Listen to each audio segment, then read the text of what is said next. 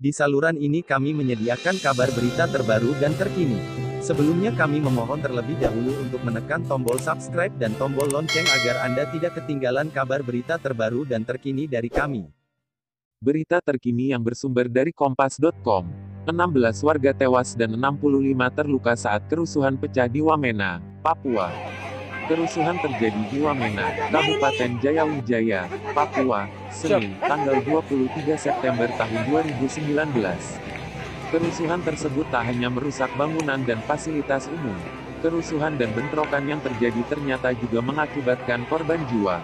Komandan Kodim 1702 Jayawijaya Letkol In Chandra Dianto mengatakan, terdapat 16 orang warga sipil yang tewas dalam kerusuhan.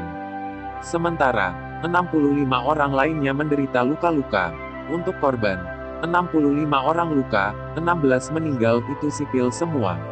Aparat sementara tidak ada korban, ujar Chandra Dianto saat dihubungi Kompas.com, Senin.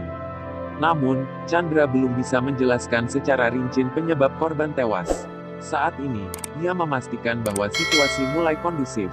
Namun, seluruh aparat masih dalam posisi siaga. Aparat standby 24 jam.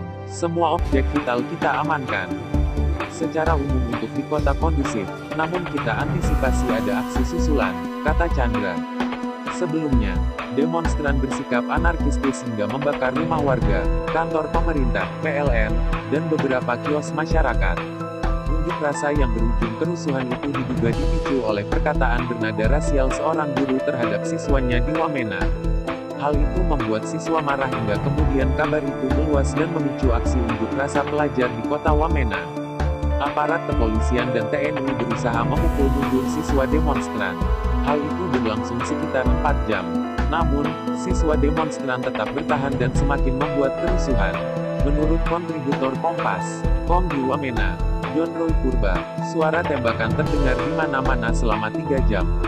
John Roy menyebutkan, sebagian warga panik karena kehilangan anggota keluarga. Selain itu, semua warga di kota itu sudah mengungsi ke kantor polisi dan kodim. Masa yang berunjuk rasa berusaha merangsek masuk ke pusat bisnis Wamena.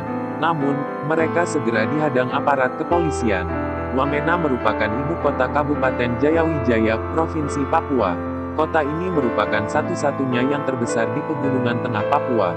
Di Wamena juga terdapat pusat bisnis, sehingga ketika terjadi kerusuhan, kawasan itu dijaga ketat aparat kepolisian.